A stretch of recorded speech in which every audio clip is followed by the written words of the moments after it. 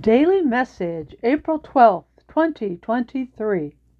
One does not have to listen very long to the words of others, to watch very long the behavior of others, to read or watch much of the news, or to watch much television to see that the world needs Jesus desperately.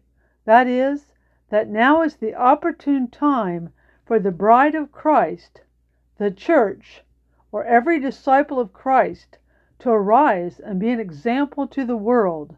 In other words, the opportune time for each and every believer in Jesus Christ to blossom and infiltrate or penetrate the world with the fragrance of Christ's love and righteousness.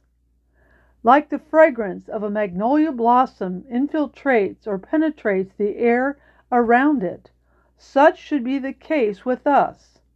The Song of Solomon 2, verse 13, speaks to the signs that reveal it is the opportune time to rise up.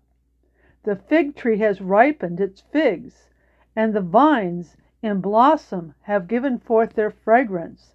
Arise, my darling, my beautiful one, and come along. Such is the case for the bride of Christ the signs of the time reveal it is time for us to arise and to let the fragrance of Christ in us penetrate the communities in which God has planted each of us. May we arise from our slumber and complacency of blending into the world and stand out by spreading the fragrant aroma of Christ into the world. May we walk as children of light for the fruit of light consists in all goodness and righteousness and truth. With love to all, Pastor Cheryl.